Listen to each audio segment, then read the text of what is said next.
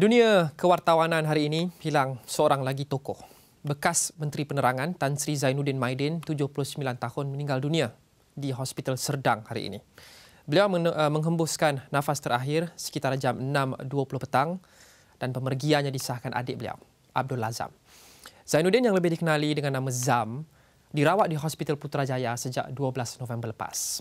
Allah yarham, ditempatkan di unit rawatan rapi ICU hospital berkenaan setelah dikesan paru-parunya berair sebelum dipindahkan ke hospital Serdang.